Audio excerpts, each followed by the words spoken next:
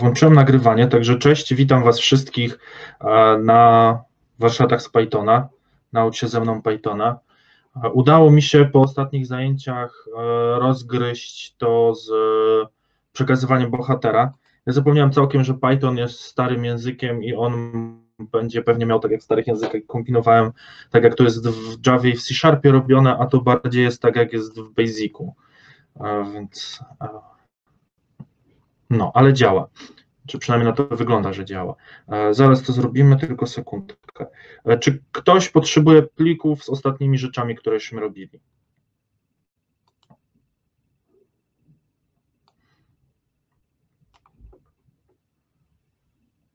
Tak, dobra. To już w takim razie Wam na szybko je udostępniam. E, tutaj nie mogę chyba plików przesyłać.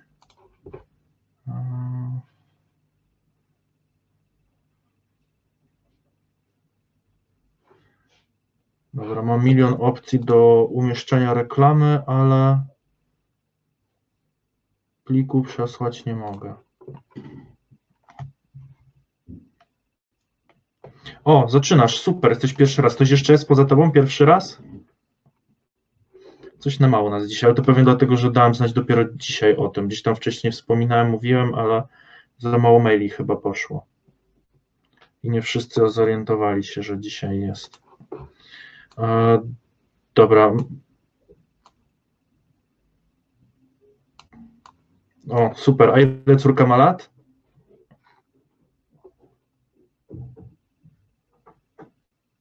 Siedemnaście. Ło, to już duża dziewczyna. Ja właśnie przed chwilą skończyłem zajęcia z C-Sharpa dla dzieciaków, tam 10-15 chyba mają, jakoś tak.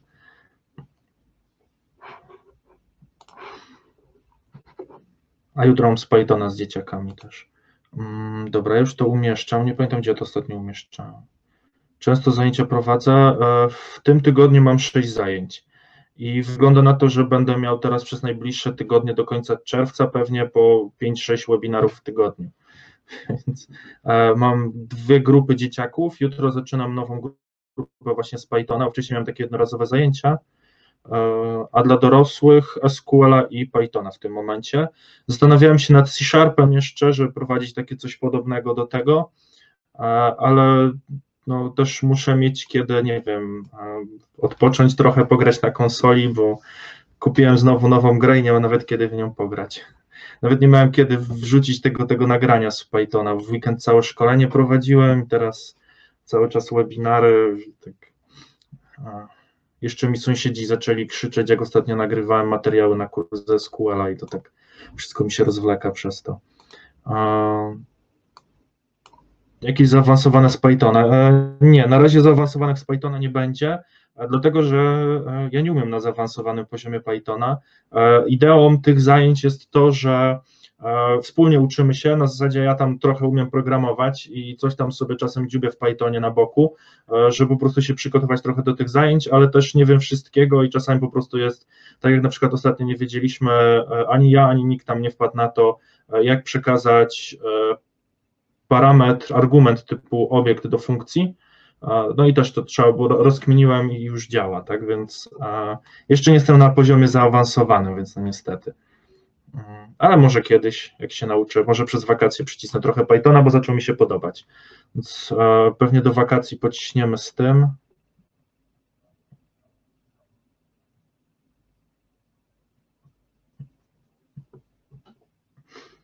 O, super. E, ja mam akurat inny sposób. Tylko, że. A, bo ty przekazujesz nowego bohatera to problem jest taki, że ty, ty tworzysz nowego bohatera jako parametr e, w metodzie. A chodzi o to, żeby przekazać istniejącego bohatera i wysłać go na wyprawę. Więc jeżeli zakończysz działanie tej metody, to podejrzewam, że znaczy to na 100% będzie, chyba żebyś źle turna zwrócił, ale to byś za każdą wyprawą tworzył nowego bohatera, więc to tak e, traciłbyś całe doświadczenie i wszystko, co masz. Ale jesteś blisko. E, ja już chwila pokazuję swój ekran.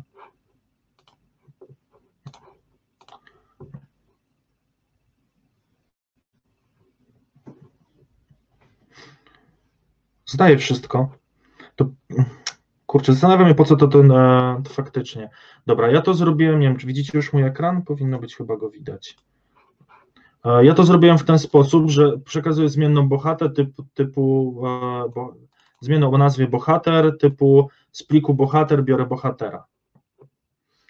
Może to sobie nazwę mój bohater, bo to się zaczyna, o Jezu, mój bohater i wtedy tutaj też jest mój bohater. O. Kolega się ostatnio, bo akurat jeżeli chodzi o C-Sharpa i inne rzeczy, jakie prowadzę, to akurat u siebie w pracy prowadzę warsztaty z C-Sharpa e, i właśnie kolega ostatnio się śmiał, że tam robimy grę związaną z obecną, obecnie najpopularniejszą chyba tematyką, czyli z pandemią. Robimy szpital, gdzie tam jakieś wyjeżdżamy na wyprawy i zbieramy pacjentów do leczenia. I właśnie tam było takie, że szpital, szpital równa się new szpital, szpital, szpital. I jemu strasznie to się tak dziwiło, nie wiedział o co chodzi. To jest właśnie takie, mnie to strasznie przeraziło z Java. Staram się to prosto wytłumaczyć, ale widzę, że muszę moc, mocniej pozmieniać tam, żeby to nie było tak, że szpital, szpital się new szpital, szpital, szpital i szpital, szpital. To tak dziwnie wygląda. Um, Zastanawiam się, czy jeżeli wpiszę tak, to nie wystarczy tak. To mnie ostatnio zaczęło zastanawiać i nie sprawdziłem. Nie, nie da się. Dobra. Jakoś coś takiego się dało zrobić, że nie muszę podawać zawsze, zawsze nazwy pliku.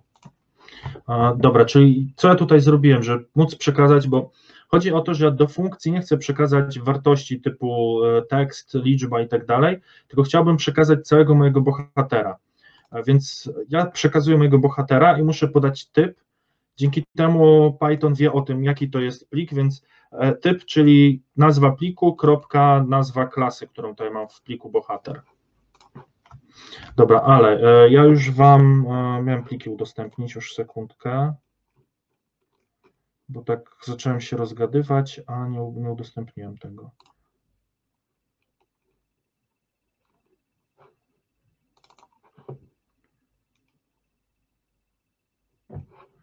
Gra i bohater, dobra. Mm. Tylko, że ja muszę zrobić kopię. Gdzie ja tu wsadziłem ostatnio?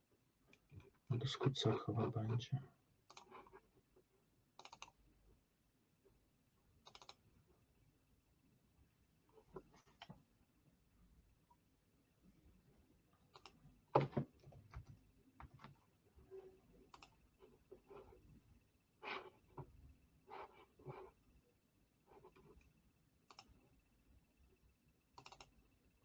Dobra, mam. A, to sekundkę sobie zrobię kopię.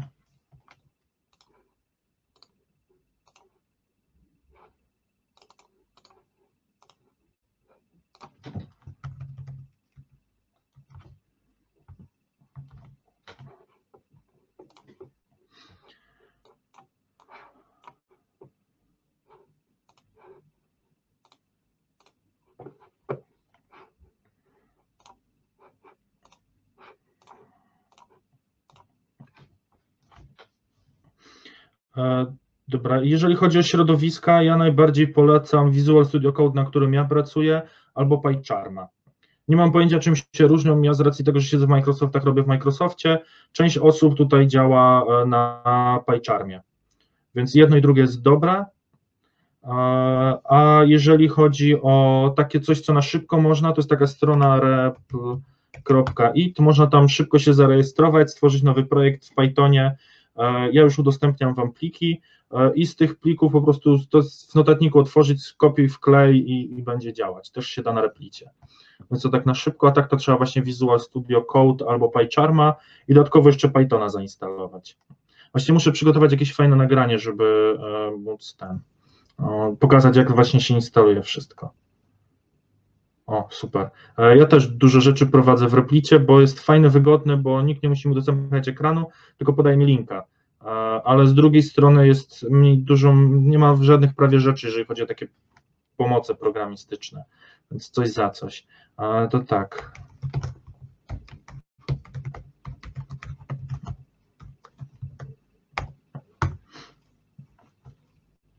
A nie ma jakiejś wersji Community PyCharma? Wydaje mi się, że chyba Community PyCharm powinien być. Okej.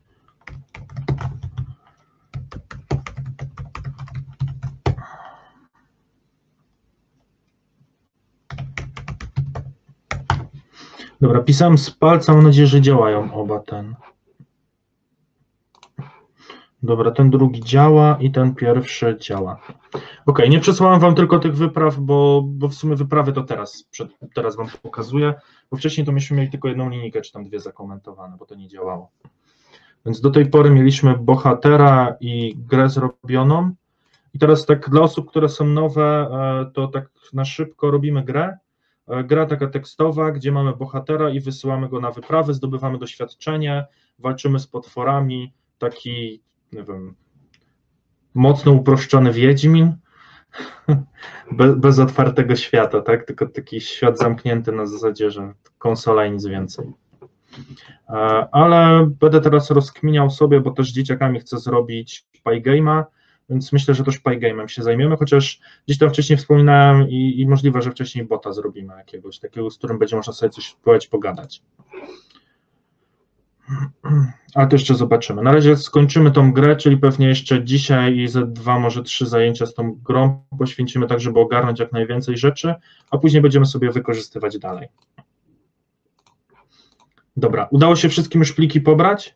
To są w 100% to, co myśmy ostatnio skończyli. Ja nie pamiętam, czy ja wam dawałem jakieś ćwiczenia. Są jakieś ćwiczenia. Dobra, udało się komuś ćwiczenia rozwiązać? Te cztery zadania.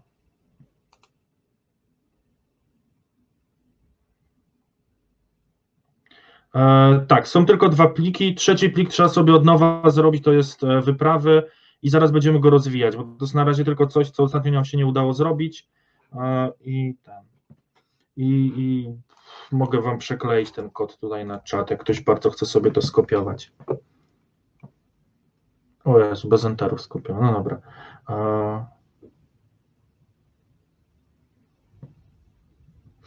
Wiesz co, jeśli chodzi o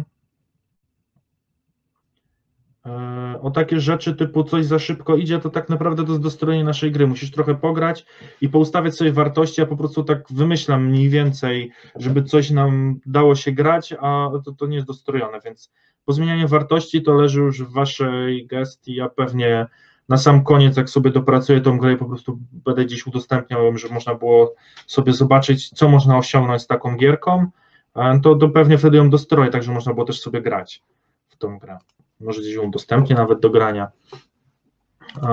No, ale tak to, to, to, to, jakie tam będą parametry, to zależy od Was.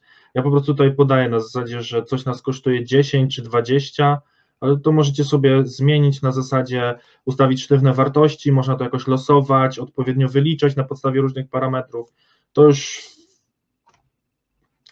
daje Wam wolną rękę. To jest po prostu to, co robimy, to, co ja tutaj pokazuję, to jest jeden, jedna z możliwości, a jak sobie rozbudujecie jakąś tą grę, dodacie inne rzeczy albo zrobicie inne algorytmy niż my tutaj robimy, to nie ma problemu. To, to, to jest wasza gra. Dobra, e, mieliśmy sprawdzić, czy stać nas na odpoczynek.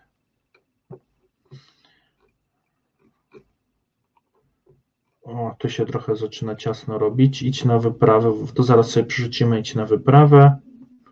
A mieliśmy sprawdzić, czy stać nas na odpoczynek. Gdzie my mamy odpoczynek? Iść na wyprawę tawerna to jest 5. A nie mamy tawerny w ogóle zrobionej.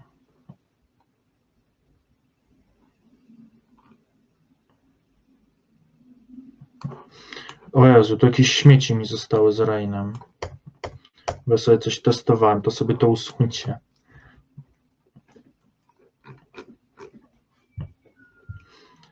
Właśnie patrzę, że jest Coś za dużo skasowałem.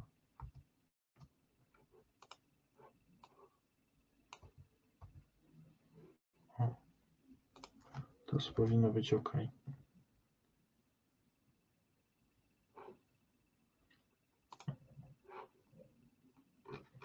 Kurczę, czy mam jakąś starą wersję?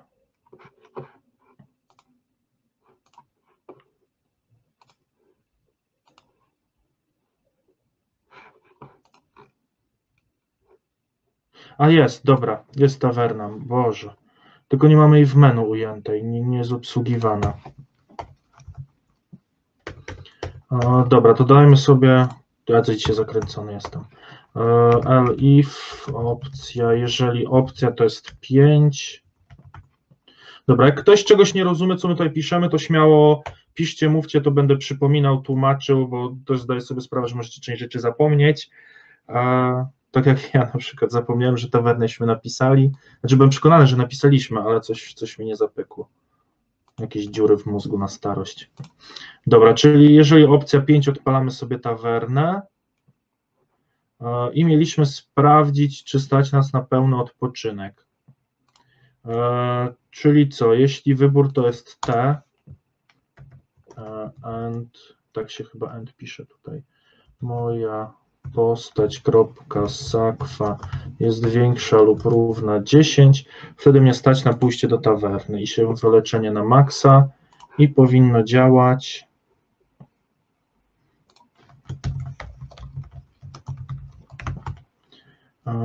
Dobra, idziemy. Ile mam kasy? Stać mnie? Stać mnie, mam dychę. Dobra, to idziemy do tawerny, odpoczynek pełny. Albo duże T ma być. Jeszcze raz, idź do tawerny, duże T.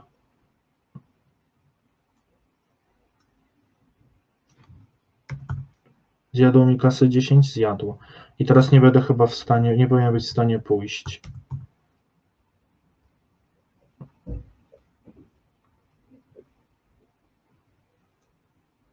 Ok. Czy mnie nie stać, to po prostu dostaję informację, że idę sobie na ten ten darmowy.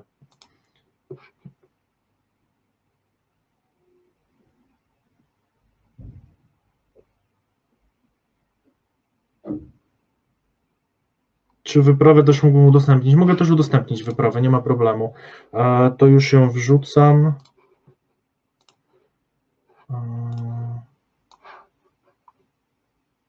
Wyprawy.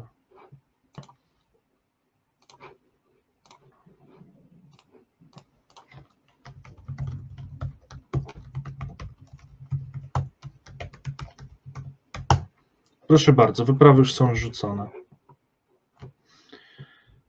Przechodząc z gry na bohatera, to muszę za każdym razem zmieniać ścieżkę plików w PyCharmie.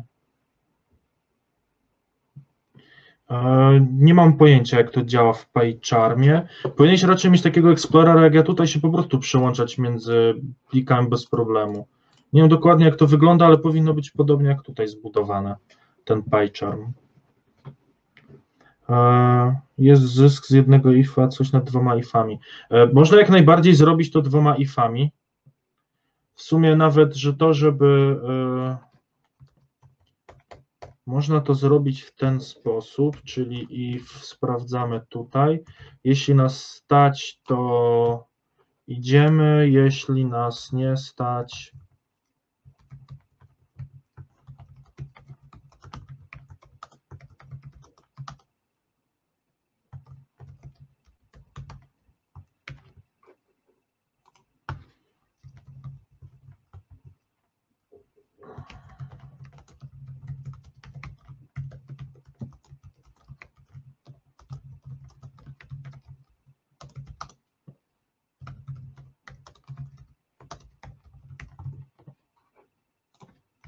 O, można to też tak zrobić.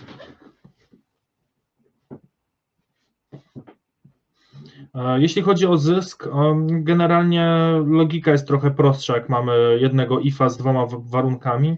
A jeżeli chodzi o wydajność, mi się wydaje, że raczej że będzie tak znikoma różnica, że raczej niezauważalna.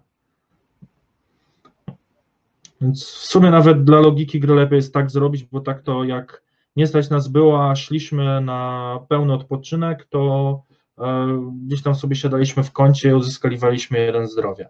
Więc tak będzie nawet dużo lepiej.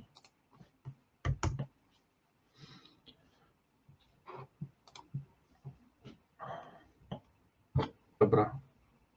E, to mamy zadanie pierwsze zrobione. Poprawić tawernę, żeby działała dobrze. Boże, już nie pamiętam o co chodziło. A, już wiem o co chodzi. Mm, generalnie problem będzie taki, że możemy mieć e, zdrowia więcej niż jesteśmy w stanie mieć. Tutaj nie zrobimy czegoś takiego, bo tutaj leczymy się do końca, ale tutaj może być taka sytuacja, że będziemy mieli więcej zdrowia niż faktycznie możemy mieć, więc trzeba zrobić sprawdzenie, czyli czy moja postać zdrowie jest większe od moja postać max zdrowie, jeśli tak,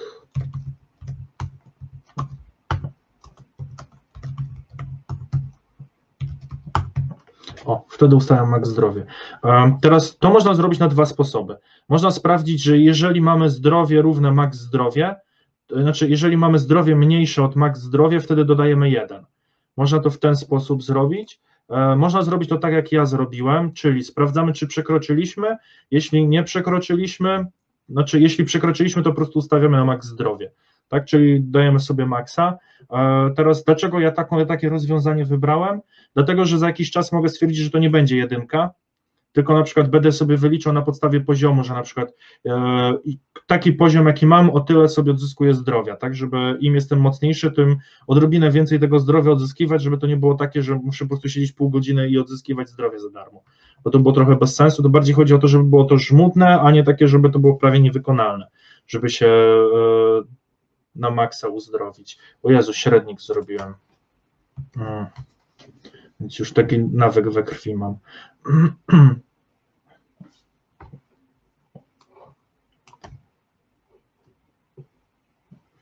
Dobra, e, trzecie i czwarte zostawimy sobie na następny raz, bo nie chcę, żebyśmy siedzieli cały czas i rozwiązywali zadania domowe. E, to to zostawiam dla Was te dwa ćwiczenia jeszcze. E, to jest jakieś tam dodatkowe opcje do naszej gry. W sumie nawet, nie wiem, może kiedyś to po prostu z, zrobię gdzieś na boku, jak to dodać, a teraz lecimy dalej. Trzy karty i oczko, super. Nie grałem w to nigdy, więc nie znam zasad, ale myślę, że może, może być to ciekawe. E, ok. To teraz tak. E, to, co nie ostatnio nie, nie uda, co, co ostatnio nie udało nam się zrobić, czyli e, zrobić wypraw w osobnym pliku. E, o co chodzi? Chodzi o to, e, że my potrzebujemy, mamy tutaj naszego bohatera, mm, on jest tutaj, jest moja postać. No i teraz ja chcę go wysłać na wyprawę, więc muszę być w stanie go wysłać na wyprawę. I teraz, jeżeli go przekażę, muszę go przekazać w takim razie do funkcji wyprawa. Tak? E, ustaliliśmy ostatnio, że wyprawy robimy osobno, nie robimy w bohaterze. Wydaje mi się, że to ustaliliśmy ostatnio. E, jeżeli nie, no to powiem, dlaczego tak powinno być. E, chodzi o to, że wyprawy to jest osobna logika niż bohater. To jest mm, coś zupełnie innego, tak? Więc skoro to jest coś innego niż sam bohater sam w sobie, to trzeba to zrobić w osobnej klasie, czy tam w osobnym pliku chociażby, tak? Bo to akurat klasy nie potrzebujemy do tego robić, bo Python nam pozwala po prostu to mocno uprościć, więc sobie tylko skrypty do wypraw powrzucamy tam. Mm. OK. E, dlaczego tak? No to tak jak mówię, właśnie to jest zupełnie inna logika i w bohaterze powinniśmy trzymać rzeczy, które dotyczą tylko i wyłącznie bohatera. Bohater to jest jedna z opcji, e, znaczy to jest jakaś opcja gry, pójście na wyprawę, wysyłamy tam bohatera. Jeżeli na przykład rozbudujemy naszą grę o multiplayera, to na wyprawę będziemy mogli wysłać kilku bohaterów, więc w tym momencie już będzie problem logiczny, no bo bohater może iść na wyprawę, gdybyśmy to zrobili w bohaterze, tak? A tak to wyprawy są osobne, możemy rozbudować, że jesteśmy w stanie tam przekazać e, listę bohaterów, no i wtedy kilka, kilku bohaterów idzie e, na wyprawę. W sumie to było ciekawe, żeby rozbudować to do gry sieciowej, że można było na przykład PvP robić z naszymi bohaterami. to było ciekawe. W sumie może kiedyś. Nie wiem, czy serwer da. Powinno się dać serwer w Pythonie napisać. Eee, dobra. Eee, ok, czyli skoro już mniej więcej wiemy o co chodzi, także wyprawy powinny być osobne, dlatego że to jest zupełnie jakaś osobna logika gry i z czasem to będziemy mocno rozbudowywać, więc e, znaczy trochę sobie rozbudujemy na pewno, żeby na przykład będzie można wybrać czy jakiś silny czy słaby atak, jakieś tam różne dziwne rzeczy sobie pododajemy, więc dużo wygodniej będzie właśnie e, robić to w osobnym pliku. No to teraz potrzebujemy sobie przenieść całą naszą wyprawę. Czyli idź na wyprawę, całe wycinamy sobie, całą zawartość funkcji i wrzucamy ją sobie tutaj. I teraz to powinno działać, dlatego że e, ja miałem. A, dobra, nie działa. To moja postać. Nie, dobra, zostawimy przy mój bohater. Mój. Dobra, niech będzie mój bohater i teraz sobie pozmieniamy wszystko. O, żeby nie była ta sama nazwa zmiennej, bo to się będzie myliło gdzieś. Jak chcecie, możecie zrobić tą samą nazwę, ja po prostu robię inną, bo, bo to się później będzie myliło. Dobra, jeszcze mi brakuje randoma, czyli po prostu import random. Import random. Już powinno być wszystko, jest wszystko, ok. Dobra, e, czyli jeżeli nie chcecie zmieniać nazwy, tutaj by musiało być e, moja postać. Ja zrobię mój bohater, dlatego żeby się po prostu nie myliło z tą zmienną, która jest tutaj, bo to jest taka sama zmienna. Teraz w sumie tego randoma chyba tutaj nie potrzebujemy nawet. Nie potrzeba. O i zobaczcie, teraz logika stała się bardzo prosta. Tak, dużo prostszy stał się ten plik z grom. E, do tego, że już nie mamy jakiejś tam bardzo złożonej logiki, która jest wywalona do wypraw i wyprawa sobie sieci tutaj. I już nie ma z tym problemu. Dobra, no i teraz trzeba to odpalić, czyli musimy zaimportować import e, wyprawy. I teraz trzeba odpalić w tym miejscu, gdzie to wcześniej było, wyprawy, kropka, wyprawa krótka i przekazać moją postać. O, czyli teraz ja sobie z pliku wyprawy odpalam tą moją funkcję, którą przed chwiląśmy tam sobie nową utworzyli, tak, przenieśliśmy tam całą naszą krótką wyprawę i teraz przekazuję moją postać. Po co ja tą moją postać przekazuję? Dlatego, że ta moja postać, ten mój bohater idzie na wyprawę i dzięki temu ja jestem w stanie w jakiś sposób go modyfikować, to znaczy e, my sobie tutaj przejdziemy, o, tutaj, tak, i na przykład e, ja na podstawie parametrów mojego bohatera jestem w stanie wyliczyć moc wiewiórki, tak, że tam jest jakiś tam na podstawie tego, jak jestem silny, tak silnego dostanę przeciwnika. E, I tak dalej, tak, więc tutaj na przykład odejmuję swojemu bohaterowi zdrowie, czyli generalnie wpływam w jakiś sposób na bohatera, i po prostu potrzebuję go tutaj przekazać, żeby móc na niego wpływać w jakikolwiek sposób, bo to ten, ten konkretny bohater idzie. Mogę przekazać jakiś inny obiekt, mogę przekazać kilku bohaterów, mogę przekazać bohatera i potwora, czy mogę zrobić tutaj jakiś generator potworów, więc e, to już e, kwestia rozwinięcia tego. Dobra, e, rozumiecie, co tutaj się stało? Dlaczego ja to tak zrobiłem i jak to działa teraz?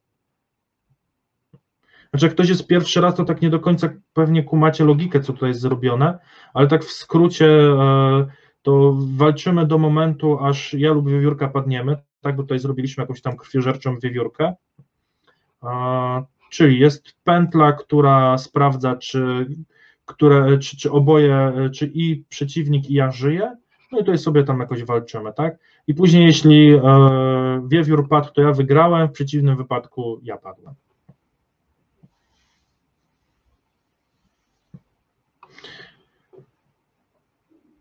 Dla Pythona chcę ci maina zrobić? E, to wiesz co, zamiast e, to, to, co jest w grze, zrób sobie w mainie. Cały, całą zawartość gry wrzuć do maina.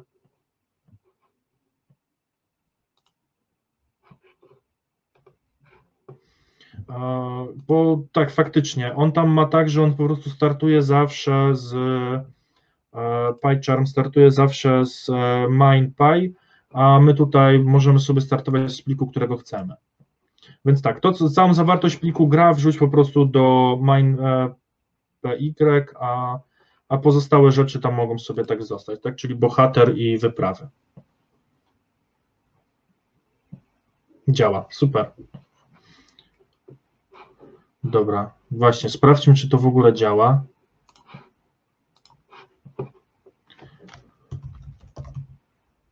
Ojku. Znowu piszę gdzieś z boku zamiast w terminalu. Idziemy na wyprawę.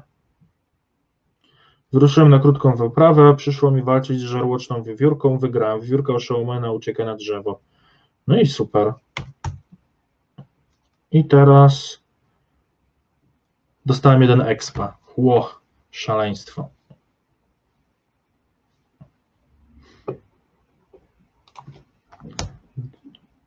Zdrowia nie straciłem, więc mogę sobie parę razy pójść. No dobra.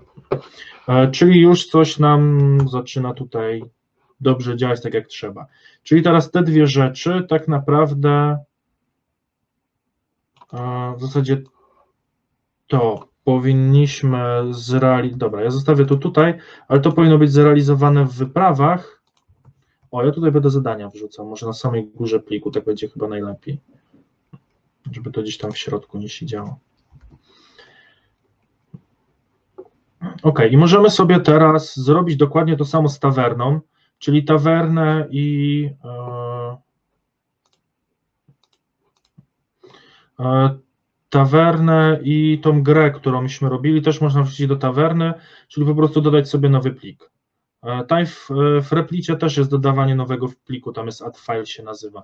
Tak, czyli dodamy sobie plik tavern, tawerna.py i wrzucimy sobie tutaj funkcję z moją tawerną. Tawerna.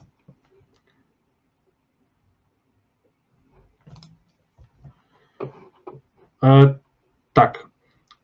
Ten błąd jest dlatego, bo to szybko przez to przeleciałem. E, generalnie problem polega u Ciebie na tym, że. Jestem bohaterze. E, tutaj teraz mm, idź na wyprawę już zamiast tego jest e, w. Wyprawy, kropka, wyprawa krótka i przekazujemy moją postać. A ty się odwołasz do starej funkcji, którąśmy przed chwilą wywalili. Więc on dlatego tego nie widzi.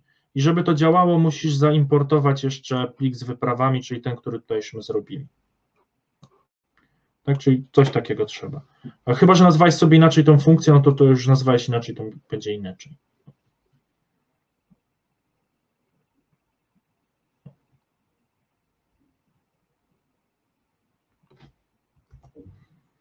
Dobra, udało się poprawić, Marcin?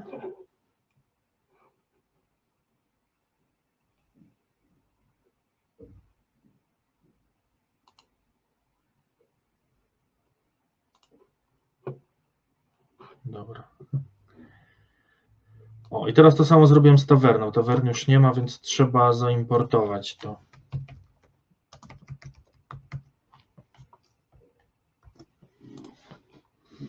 Czyli teraz tawerna. Tak, czyli importuję sobie tawernę. Do tawerny przekazuję tawernę, tylko że ona ma jeszcze tutaj dużo błędów. Trzeba znowu zrobić to samo z bohaterem, cośmy robili w przypadku wyprawy, czyli import bohater. I teraz moja posta. Stać bohater. O, Dobra, teraz nie ma błędu i tutaj moja postać, save. O, i teraz będzie tawerna działać. Dobra, czyli jeszcze raz, co ja zrobiłem. E, wywaliłem sobie całą funkcję. Mhm, już pokazuję. Całą funkcję wrzuciłem tutaj do tawerny. Muszę zaimportować bohatera i muszę dodatkowo zrobić dokładnie to samo, co jest w wyprawie zrobione, czyli po prostu przyjąć jako parametr moją postać.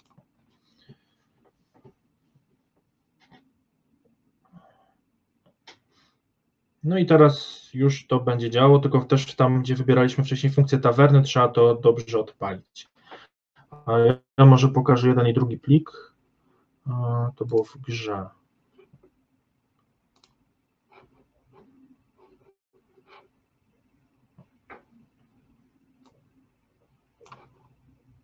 OK, to tutaj tylko komunikaty obcięło kawałek, to myślę, że nie będzie problemu. I to jest to, z tawerną. Dobra.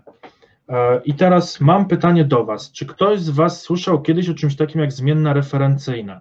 Czyli to jest e, mechanizm, dzięki któremu ja jestem w stanie przekazać postać, zmodyfikować ją i ona się automatycznie zmienia dla całej gry. Nie muszę zwracać jej jako wyniku działania mojej funkcji, ustawiać i kombinować.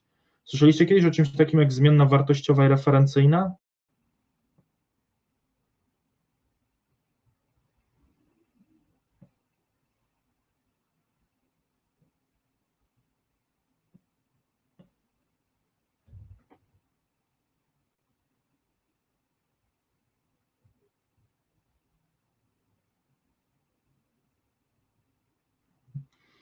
No ja w sumie dzisiaj też dzieciakom tłumaczyłem, tylko że akurat w C-Sharpie jak to działa, zmienna wartościowa i referencyjna. Może córka była u mnie na warsztatach. A,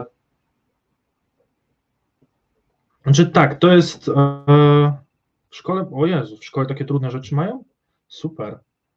To trafiła na dobrego nauczyciela. Ja też akurat w liceum miałem bardzo dobrego nauczyciela od informatyki, już właśnie programowanie robili. A więc to, to było fajne. To klasa informatyczna w końcu, więc musiała być. Ja byłem na profilu humanistyczno-informatycznym. Dobra, teraz tak. E, jeśli chodzi o e, zmienną referencyjną, o co chodzi? Tutaj padło stwierdzenie wskaźnik, to tak, właśnie, tylko że w C używamy wskaźników, w wielu językach e, nie zmieniamy. Mm, Daniel, tak, ale nie do końca tak to działa. E, tak, tak, mniej więcej o to chodzi, tylko to, to, to jest taka pewna zasada. Dlaczego tak to działa i też nie zawsze. Generalnie mamy dwa rodzaje zmiennych. E, mamy zmienne wartościowe i zmienne referencyjne. E, czyli ja Wam to może pokażę na nowym pliku.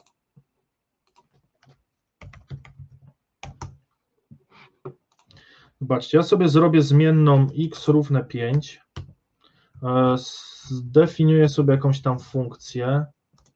E, przyjmę sobie to jako y, Oj, dwukropek zawsze gubię, y równa się 3. I teraz tak, e, print x, coś x, print Dobra, i teraz ja to odpalam i zobaczcie, co się stało. Dostałem dwie piątki, tak? Czyli e, ja e, wydrukowałem sobie ustawioną wartość, odpaliłem funkcję coś, która zmodyfikowała mi tą wartość i odpaliłem jeszcze raz drukowanie. Tak? I tutaj zadziałało coś takiego jak e, zmienna właśnie wartościowa.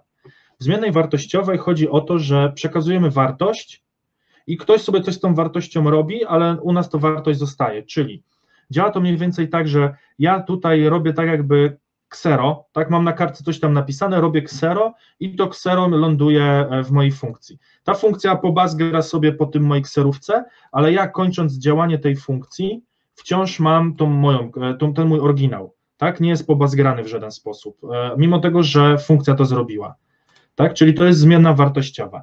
Rozumiecie ideę? Tak, czyli ja przekazuję wartość, nawet jak sobie tą wartość zmodyfikuję, nawet jeśli nazwę sobie tutaj to x, tak, bo nazwałem to y, żeby tam się nie mieszało z tamtym xem, ale nawet jeżeli nazwę sobie to dokładnie tak samo, to wciąż będzie to działało w ten sam sposób, wciąż dostaję na terminalu dwie piątki. Tak, tutaj akurat nazwa w tej zmiany to nie ma żadnego znaczenia. Czyli generalnie przekazuję wartość, czyli tak naprawdę robię po prostu ksero te, te, tego, te, tego, co chcę przekazać, to tam sobie idzie, ktoś działa sobie na kserówce, ja wciąż mam ten mój oryginał.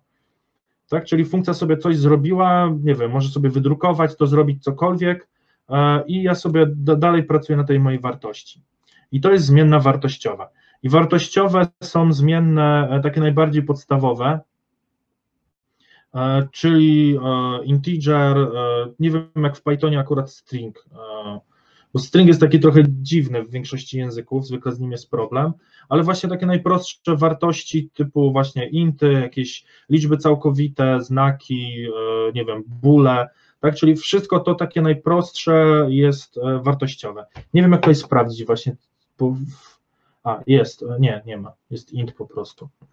Um, ok, czyli te najprostsze rzeczy są właśnie wartościowe, czyli jak przekażemy to, zmodyfikujemy wartość, ona się nie zmieni. Teraz, zmienna referencyjna to jest taka zmienna, e, gdzie my trzymamy tak naprawdę adres w pamięci. Tak? My, jeżeli przekazujemy tą zmienną gdzieś dalej, e, to w tym momencie my tak naprawdę przekazujemy tylko i wyłącznie adres. Czyli ja przekazując bohatera tutaj, e, moja postać, moja postać tak w rzeczywistości, gdzieś tam na samym spodzie, jak to działa w komputerze, E, czyli właśnie te wskaźniki, to tak naprawdę jest wskaźnik, czyli tam jest adres e, do miejsca, gdzie ta moja, ten mój bohater siedzi w pamięci komputera. I teraz e, każdy trzyma tylko i wyłącznie adres, czyli on sobie do adresu w pamięci się odwołuje, modyfikuje sobie, teraz każdy, kto ma ten sam adres, widzi modyfikację. Czyli jak to działa? Jeżeli ja na kartce podam sobie jakiś e, adres mieszkania, załóżmy ulica Zachlapana 5 i teraz jak każdemu z Was dam, e, zrobię ksero, tak, adres ulica Zachlapana 5 i teraz jeśli ja pójdę pod ten adres e, i na przykład był kubek w zlewie, umyję go i postawię na stole, to ktokolwiek z Was pójdzie pod ten adres, będzie miał ten kubek umyty, postawiony na stole. Jeżeli ktoś z Was weźmie ten kubek i rzuci nim o ścianę, to następna osoba, która tam pójdzie, będzie chciała skorzystać z tego kubka, to ten kubek dla niej będzie rozwalony, leżał gdzieś pod ścianą. Tak? Czyli tak naprawdę w zmiennych, takich bardziej złożonych, typu na przykład klasa, e, w zasadzie chyba tylko klasy, e, czyli klasy będą właśnie referencyjne, czyli my przekazujemy tylko i wyłącznie adres, tak? Informacje, gdzie to się znajduje, więc dzięki temu ja modyfikując tutaj moją postać, czyli na przykład ustawiam jej maksymalne zdrowie, albo tutaj ustawiam zdrowie plus jeden, e, to ja tak naprawdę modyfikuję sobie ten obiekt, który siedzi tutaj, tak? Bo ja tutaj przekazuję moją postać, więc ta postać po zakończeniu działania tej metody wciąż będzie e, tą samą moją postacią. Tak, ona będzie zmodyfikowana, czyli skoro ja wysłałem moją postać do tawerny, przekazałem tylko adres do pamięci tak naprawdę, E, tawerna zmodyfikowała i ja idąc dalej z logiką tutaj, która jest w tym miejscu e, i dalej z moją grą, e, ten bohater będzie zmodyfikowany. Dobra, rozumiecie o co chodzi? I w ten sposób wszystkie znane języki obiektowe działają. Podejrzewam, że inne, które gdzieś tam działają, mają podobne mechanizmy, też będą coś takiego mieli, miały. Tak? Rozumiecie ideę?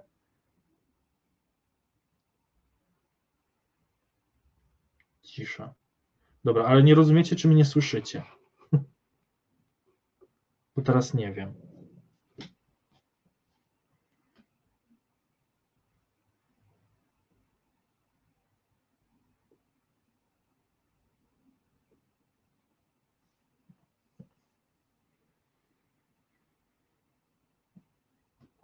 Spoko, jakby coś tam nie działało, to dawaj znać, będziemy najwyżej poprawiać. E, ja zdaję sobie sprawę, że to jest trudne. To nie jest prosta rzecz. Ja też na początku nie łapałem o co z tym chodzi, ale w pewnym momencie to się staje naturalne. E, bo no, duże, wszystkie języki praktycznie obiektowe tak działają. Nie wiem, czy są jakieś, które działają w inny sposób. E, czyli w Javie, w C Sharpie, w C, wszędzie będziecie właśnie w ten sposób działać. W Pythonie też. W Vibinecie pewnie też, jak ktoś Basiciem się bawił. Okej, okay. E, ja o tym jeszcze będę pewnie wielokrotnie przypominał, że to akurat przekazujemy tutaj bohatera na zasadzie właśnie takiej e, i to jest tak, jak ktoś tam pisał, tak, że przekazuje sobie, modyfikuje, to mi się po prostu zmienia. Czyli no to no, no, tak można to sobie zapamiętać, tak? Mi to bardziej chodziło o to, żebyście dowiedzieli się, dlaczego to w ten sposób działa. I to w wielu miejscach będzie miało znaczenie, e, bo tak naprawdę no teraz tutaj jeżeli ja będę przekazywał zwykłe pojedyncze wartości, to one nie będą się modyfikowały, więc ja mogę z tego korzystać. A znowu, jeżeli będę potrzebował przekazać obiekt e, i e, będę chciał go modyfikować, ale żeby nie wpływał na resztę programu, to trzeba będzie używać klonowania obiektu albo robić coś, co będzie nam kopiowało te wartości, albo po prostu w jakiś sposób, nie wiem, zrobić mechanizm magiczny klonowania czy coś. Nie wiem, czy w Pythonie jest jakieś sprytne klonowanie obiektów, ale zwykle to się robi ręcznie. E, pod każdy obiekt swój lub e, bawi się refleksją, ale to jest mało wydajne i mało wygodne. E, znaczy mało wygodne. Kopiuje nam po prostu cały obiekt automatycznie, ale takie ciężkie trochę w obsłudze, jakbyśmy chcieli tam już zaglądać. Dobra. To, to, to dzisiaj Wam trochę tr trudne rzeczy nawrzucałem, ale mam nadzieję, że wiecie o co chodzi. Jeśli ktoś, nie, jeżeli ktoś tego nie rozumie, to dajcie znać. Ja to jeszcze raz opowiem, spróbuję się wytłumaczyć, spróbuję to wytłumaczyć jakoś inaczej. Bo teraz jedna osoba mi tylko powiedziała, że wie o co chodzi, a reszta cisza. Um, dobra. Dalej cisza. A może po prostu jesteście tutaj, żeby mi smutno nie było.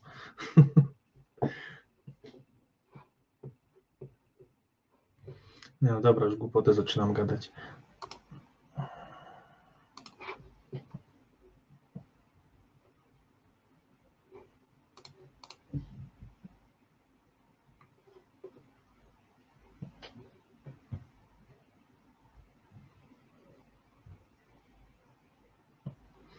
Którym miejscu przekazujesz postać poprzez referencję? Podając ją jako parametr, tutaj w tym miejscu, ty przekazujesz tak naprawdę tutaj referencję. Tak, to, to się niczym nie różni. Ty po prostu musisz wiedzieć, jak to działa. Ty musisz wiedzieć, czy to się zmieni, czy się nie zmieni, a tak naprawdę nie ma żadnej różnicy.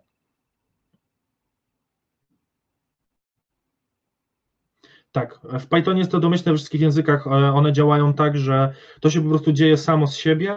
My musimy wiedzieć, co chcemy zrobić. Jeżeli nie chcemy, żeby nam e, metoda modyfikowała nasz obiekt, e, znaczy, żeby modyfikacje obiektu nie były widoczne gdzieś tam, czyli na przykład potrzebujemy zrobić kopię, znaczy chcemy zrobić modyfikacje, żeby później po tych modyfikacjach sprawdzić, czy na przykład nasz algorytm wpłynął w taki sposób, że na przykład nie wiem, liczymy sobie, ja teraz e, pracuję przy jakichś tam rzeczach e, związanych z bankowością i mam na przykład kredyt. Na podstawie zmiany parametrów, nie wiem, ktoś komuś się zmieniła wypłata i przeliczam sobie nowy kredyt i sprawdzam, czy nowy przeliczony kredyt wciąż go stać na ten kredyt, który miał. Martyna, nie mów nikomu, że o tym opowiadałem. Znaczy podejrzewam, że nikt się nie przyczepi, ale Wiesz co, nie jestem w 100% pewien, jak to działa w VBA, bo w VBA tam jakoś z obiektowością się za bardzo nie bawiłem. Ciężko mi powiedzieć. Tak, tam trzeba przez kola się odwoływać, tak jak w starych językach, takich jeszcze starszych niż Python, bo Visual VBA to jest basic tak naprawdę. Ok, no i ja właśnie to wykorzystuję w tym momencie, że mam kredyt i mam nowy policzony kredyt, przy czym ja sobie go biorę na podstawie, kopiuję ten mój kredyt i po prostu sprawdzam, te, te, te moje wartości się zgadzają po modyfikacjach. I muszę mieć zrobioną kopię, więc wtedy muszę, po prostu wiem o tym, że to się przekazuje te, w ten sposób, więc muszę koniecznie zrobić kopię.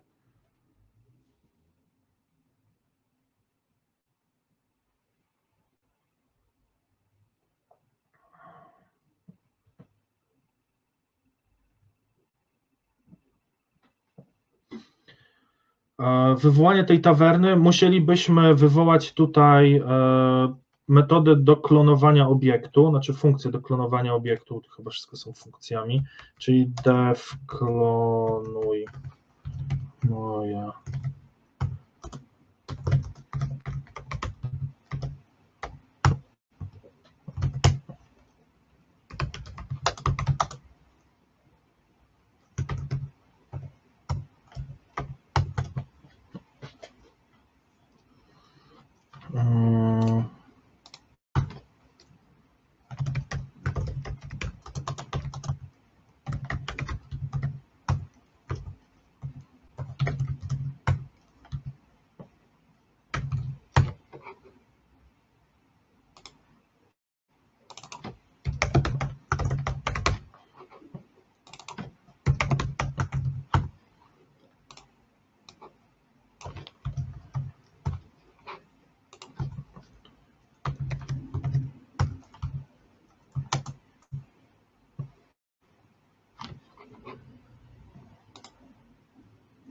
Teraz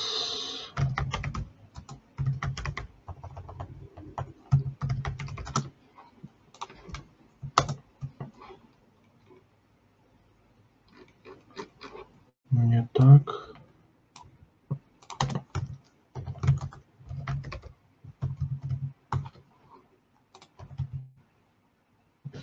O, tak, zdrowie równa się, bo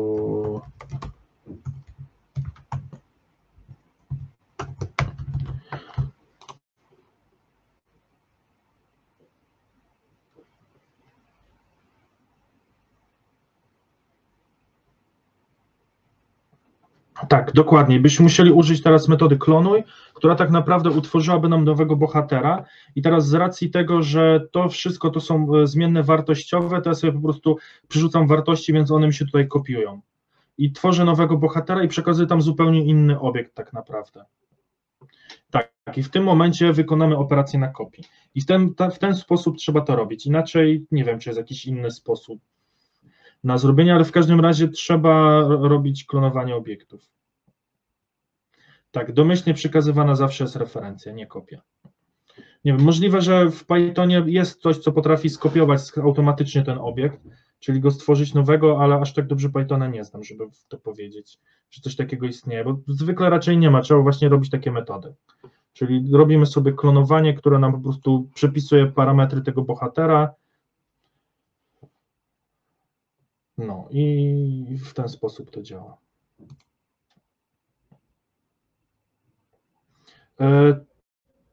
Tak, wydaje mi się, że w C będzie domyślnie wartość, przy czym tam się wskaźnikami wszystko przekazuje, więc wtedy sam sobie ręcznie decydujesz o tym, czy przekazujesz e, wskaźnik, czy przekazujesz wartość. Ale też ja już nie pamiętam C za bardzo. Pamiętam tylko gwiazdeczki i zawsze jak mi coś nie działało, to gwiazdeczki tam rzucałem i działało. I tak zaliczyłem na piątkę C.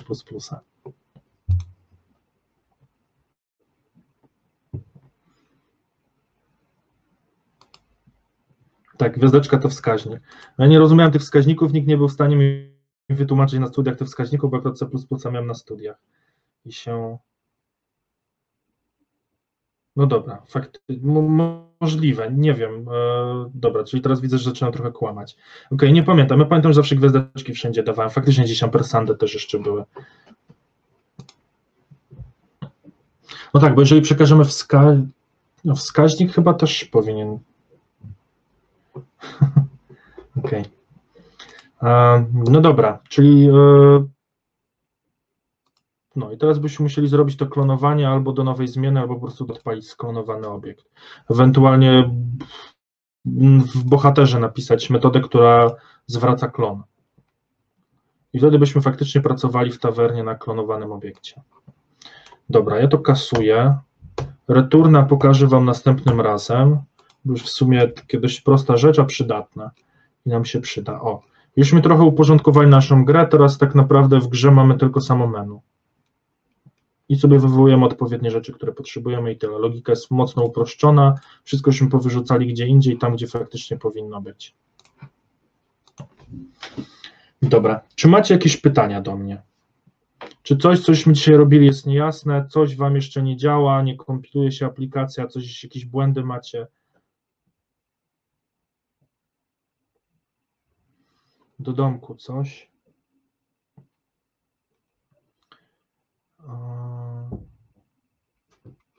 Niech ja pomyślę, co można było Wam dać do domku.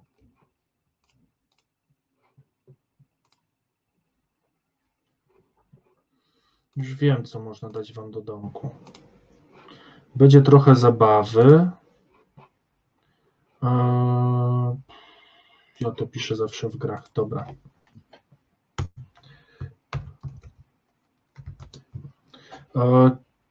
Czyli tak, z, e, na zadanie domowe zrobicie sobie w prawach.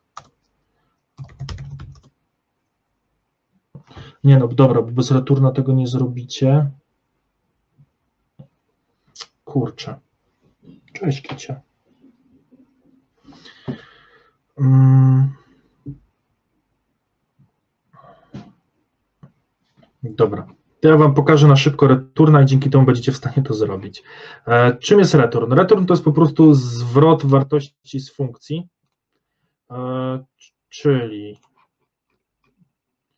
e, jeżeli ja sobie tutaj napiszę jakąś funkcję, dobra, zrobię to w teście, będzie szybciej. E,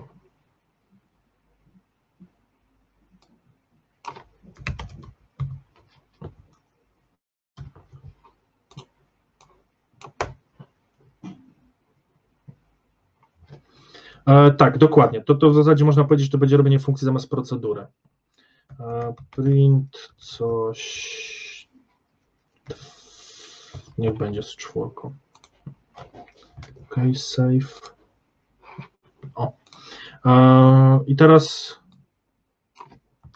może tak zrobimy.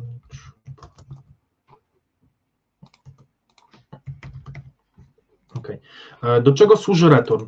Return tak naprawdę służy do tego, że on zwraca nam jakiś, jakąś, jakiś wynik e, działania naszej funkcji. Tak, czyli e, ja mam funkcję, która sobie coś liczy i return i ona tak naprawdę to, co jest po returnie, zwraca mi wynik działania. Tak, czyli teraz, jeżeli ja sobie uruchamiam funkcję coś, w tym momencie czwórkę do niej przekazuję, jest 4 plus 3, czyli 7, wynik trafia do zmiennej liczba i teraz liczba mi się odpala. Tak, i drukuję sobie liczbę, czyli ja dostaję tak naprawdę tutaj 7. Tak, czyli e, to jest tak naprawdę zwrot działania, wynik działania mojej funkcji. Proste, mam nadzieję. Znaczy, jak dla kogoś nie jest proste, to następnym razem się tym dokładnie zajmiemy, ale po prostu to jest taka fajna rzecz, którą chciałem, żebyście, którą byście mogli sobie zrobić, e, czyli w wyprawach zrobić coś takiego, że mamy metodę, funkcję, funkcję, mm, która generuje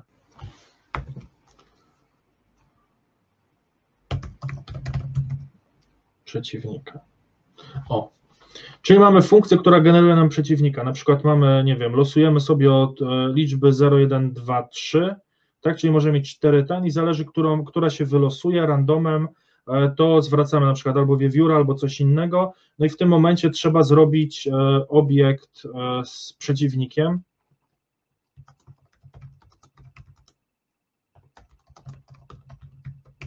Tak, czy on też będzie miał tam jakieś imię, będzie miał jakieś, nie wiem, komunikaty, które będziemy z niego zwracać i trochę jest przy tym, będzie, trochę będzie przy tym zabawy, no ale generalnie taka, takie coś będzie nam po prostu zwracało nowy obiekt jakiegoś tam przeciwnika, który uzupełni parametrami i wtedy będziemy na wyprawie walczyli z przeciwnikiem, który jest obiektem, a nie zwykłymi parametrami. Jeśli ktoś nie chce bawić się w obiekty, znaczy w returna, nie, nie złapał o co chodzi tutaj tak na szybko, to można to zrobić też w formie obiektu, przy czym nie będzie losowy, tylko będzie po prostu wiewiórka, ale przerobić to na obiekt, żeby był e, obiekt, e, klasa i obiekt przeciwnika. Dobra. Mam nadzieję, że w miarę jasno wytłumaczyłem o co chodzi.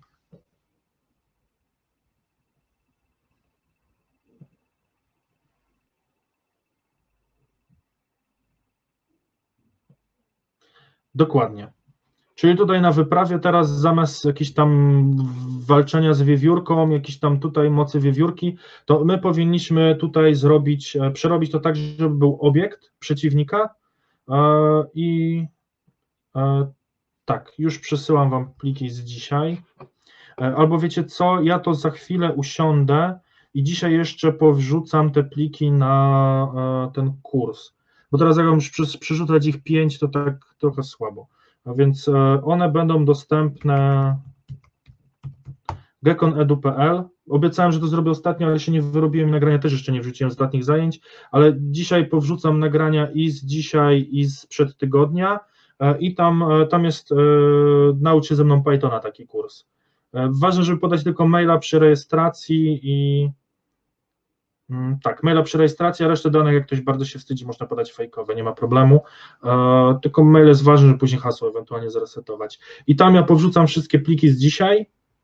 E, dam Wam jeszcze w mailu znać. Mam nadzieję, że w końcu uda mi się maila wysłać, bo ostatnio obiecuję, że maile wyślę, wyślę i, i się nie, nie wyrabiam. Ale powrzucam te, te dwa filmy, wrzucę tam te pliki i wyślę Wam maila z informacją, że to tam jest.